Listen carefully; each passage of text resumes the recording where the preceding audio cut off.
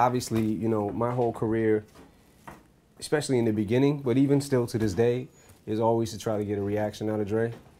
And this track was, I was trying to get the, re- the reaction I wanted was to spark him even more than he's been sparked lately. You know what I'm saying? Kind of even push it further and just get him to finish the album. That's what it did. It's like, yo, come on, let's go.